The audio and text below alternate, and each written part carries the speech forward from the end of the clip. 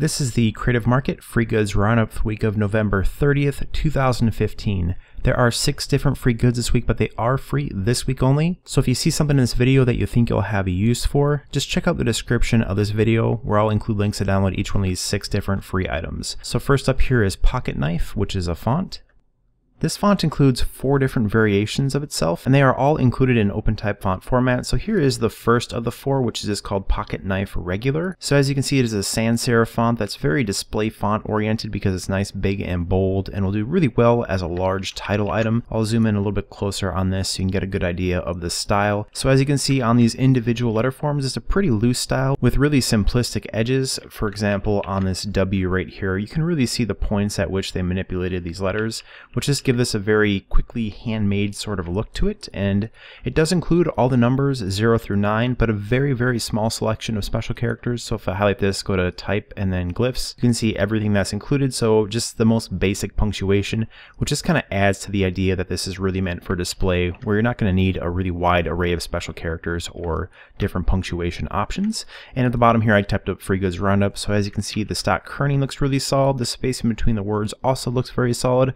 Overall, it's a pretty good looking font. And here is the second of the four that's included. So this one's called Pocket Knife 3D, which as you can probably guess is the same as Pocket Knife, but it has a 3D extrude to it. So if you want to give your stuff almost a bit more of a comic book looking feel, then this is kind of a cool way of going in there and doing that since all the work is really done for you. And this is another variation right here, which is called Pocket Knife Bold. So I'm just going to drag up Whoops, I'm just going to drag this whole thing next to the pocket knife really quick so you can kind of see them side by side so you can see the difference in the font weight. So as you compare the word roundup in the bold version to the word free in the regular version, you can tell it's a fairly substantial increase in overall font weight. So if you want a version that has a little bit more impact to it, that has a little bit more substance, then this might be a good one to use. One thing I'd say though is some of them like this at symbol, you might want to give a little bit more space around here since the white space is pretty limited in there. You can always just outline these letters and customize that if you end up using this in a display. So if you're displaying something like an email address really nice and large, you can go in there and do that. Or if that doesn't bother you, feel free not to do anything about it at all. And over here is the last one, and this one is called Pocket Knife Marquee.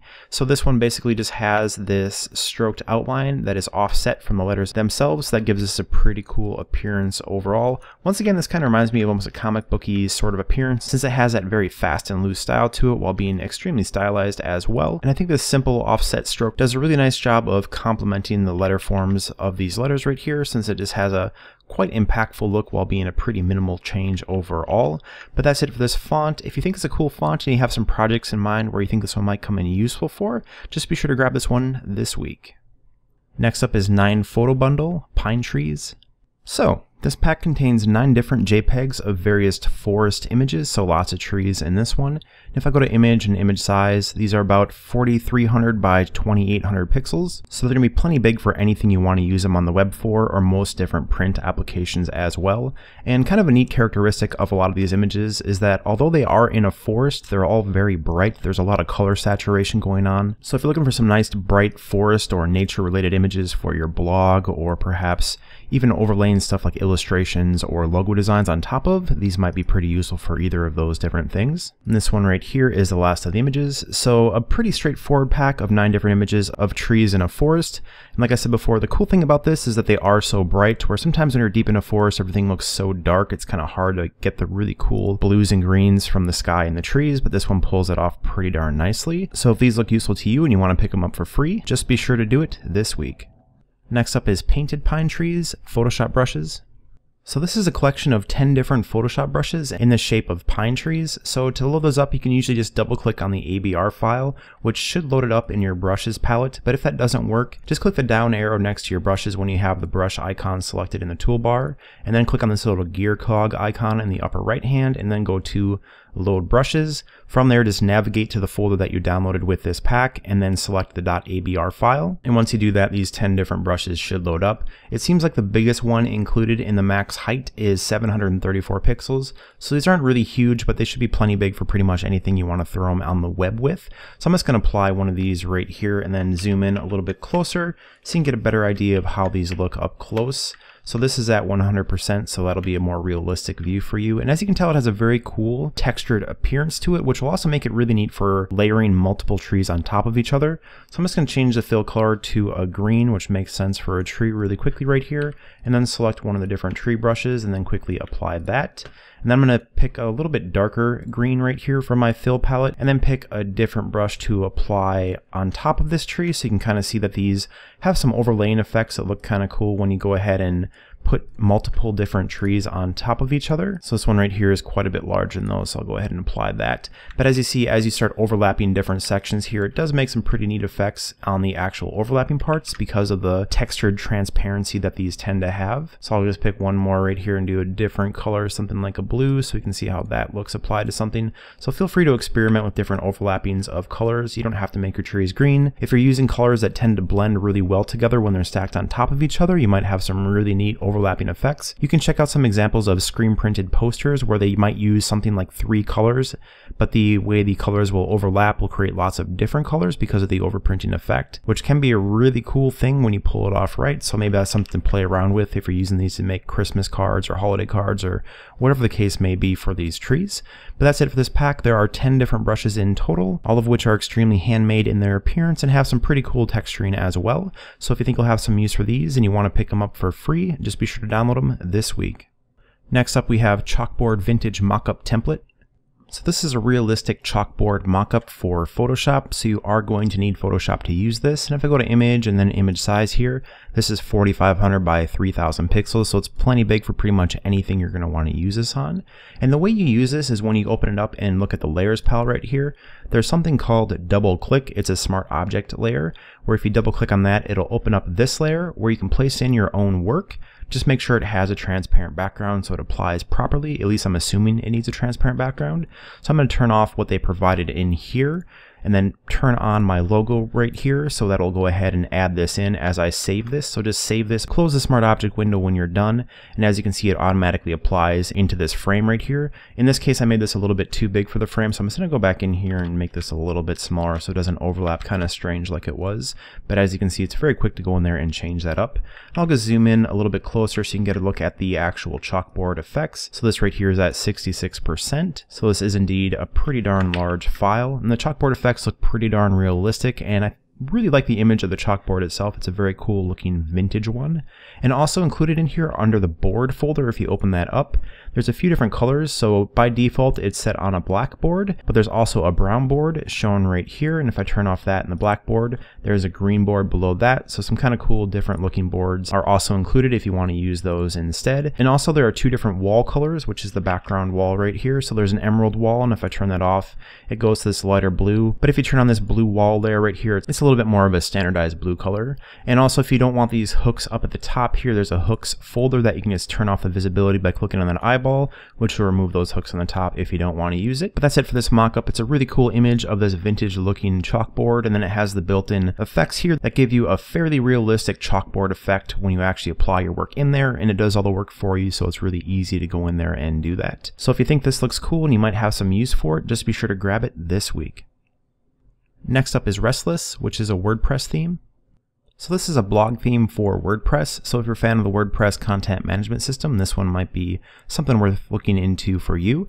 And as you can see right here, it has very large images and is a very standardized blog layout where the posts are really the big important thing on the page.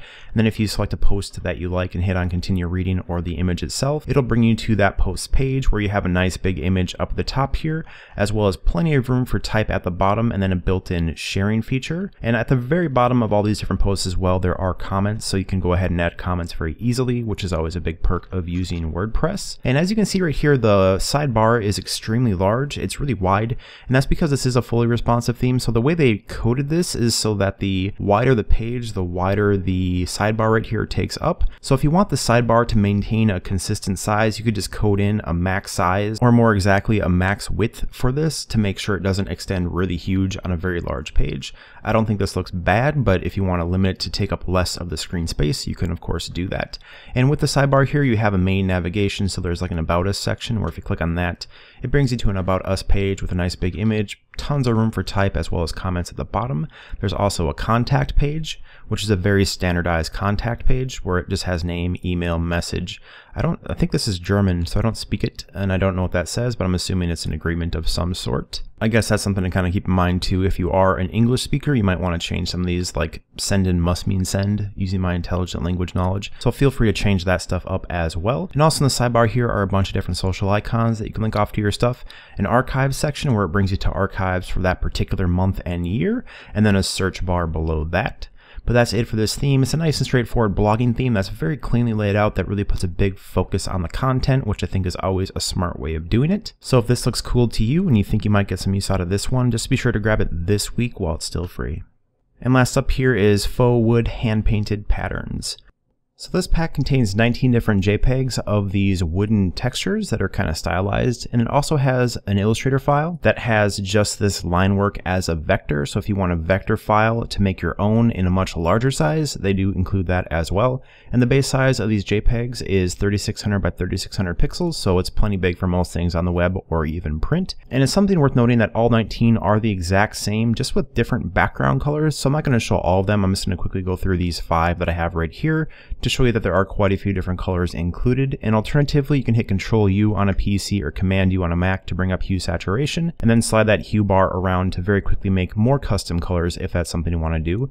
You can also adjust the saturation level if you want to, or the lightness level to get even more colors out of this, or hit the colorize button, and then you kind of get a completely overtone of whatever color it is that you are selecting right there. And these also have a pretty cool texture, at least if you're using the actual JPEGs, that's kind of like a papery texture. So they are stylized in that way as well. If you don't want that texture, just use the Illustrator file instead, and then don't apply any sort of texture over it when you bring it into another program or export it outside of Illustrator itself. But that's it for this pack. Very straightforward, 19 19 different JPEGs, as well as an Illustrator file of these textured, stylized wooden patterns right here.